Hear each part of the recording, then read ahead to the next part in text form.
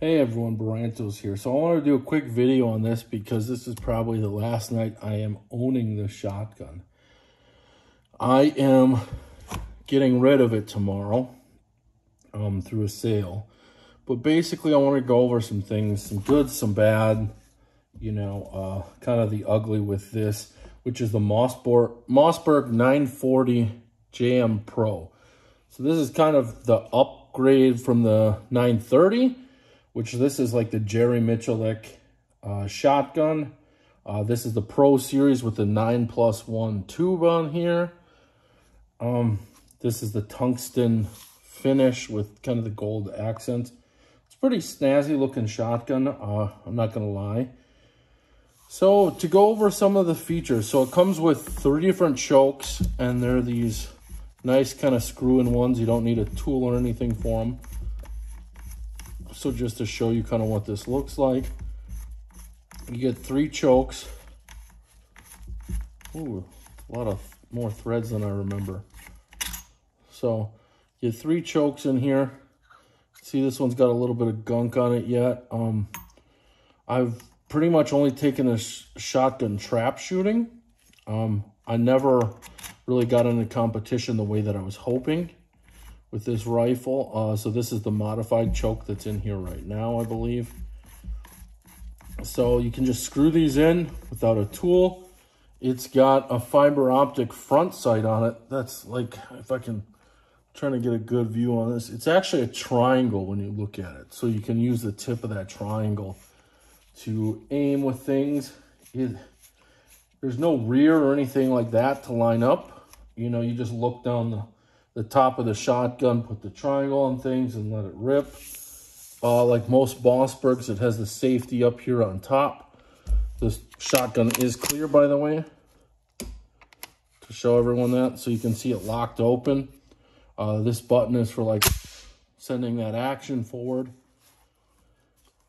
It's got a pretty carved out bottom here, uh, so you can load relatively quickly it, you know, when in competition where you have to do those quick loads. Um, so yeah, it, it's accurate. I, I shot decent trap with it. Uh, I think I went like 23 out of 25 last time. So it, it's, it's an accurate shotgun. I have had issues with it though, and that's kind of what I wanted to cover. So there's a couple things. Um, one, when I first got it, it would only fit like three rounds in the tube. And then I figured it out.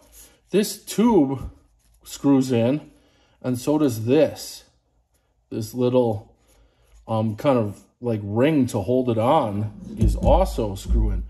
So if you, what, if you tighten this just a little too much, this tube, it binds up the magazine spring. So that magazine spring doesn't go the full length and it gets caught like right here. So you can only load a few rounds in here and you can't actually fill the whole thing. And I found that like, you know, uh, after cleaning it a few times and things like that, that it's really easy to over tighten this. Like, I mean, hand tightening it will do it. Um, so it's not anything extreme that you have to do that it, it got really finicky with this magazine tube. So there were some issues there that I experienced. The other thing so if you can get a good look at this, this wobbles. There's a lot of wobble, a lot of play. And you can kind of see it right there. Like it's too wide for the screw or the screw like drove through it or something. But after shooting this, this wobbles now. Not a great look.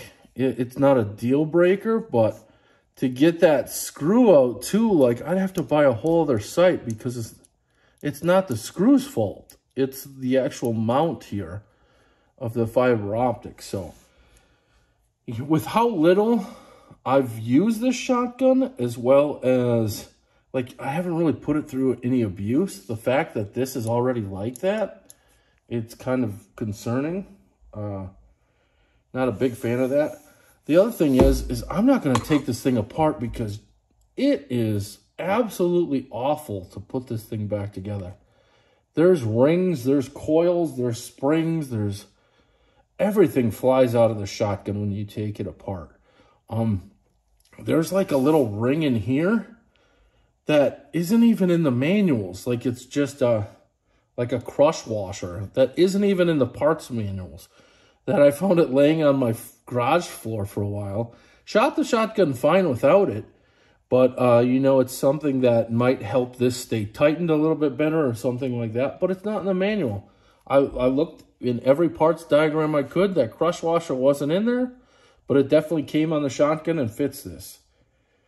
So, uh, yeah, it, it's a lot of parts in there. They're really annoying to put back together. Uh, it gets pretty dirty. You know, uh, it it's it gets dirtier than you'd want, quicker than you want. And, you know, like they even said, you know, like Lena and Jerry have said, like this shotgun needs to be pretty clean to run well. So you can't, I'm sure it runs better than the 930, which had issues, you know, in humidity and things like that. And they've worked around that with some different uh, gas systems inside of here with the 940 but it still needs to be pretty clean to run well. And with the issues that I've had just shooting trap, I wouldn't want to run this in competition. I feel like it would just be, you know, hit or miss. It'd be a roll of the dice. Am I going to have a good day or a bad one? So, you know, it's finicky. That that's that's the best way I can put it. It's definitely finicky. Um and it, it's not a lot of fun to disassemble which is something you have to do on a regular basis to keep this thing running great.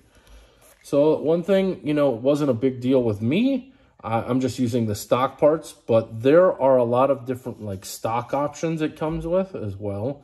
So you can extend this, you can kind of cant it depending on how you want things. So if you want to can it a little bit so that it gets closer to your cheek on one side or something like that, you can do that with this. They offer a lot of spacers with the shotgun.